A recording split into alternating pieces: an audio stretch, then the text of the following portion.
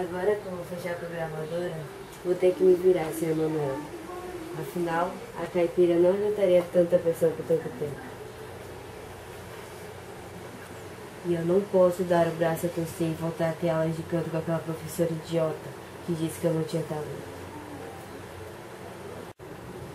Vou procurar alguns tutoriais do tipo como ser uma cantora famosa em 10 passos. Ai, Isabela, mais realista. Vou baixar algumas músicas no meu MP3 e assim, qualquer lugar que eu for, vou poder ensaiar.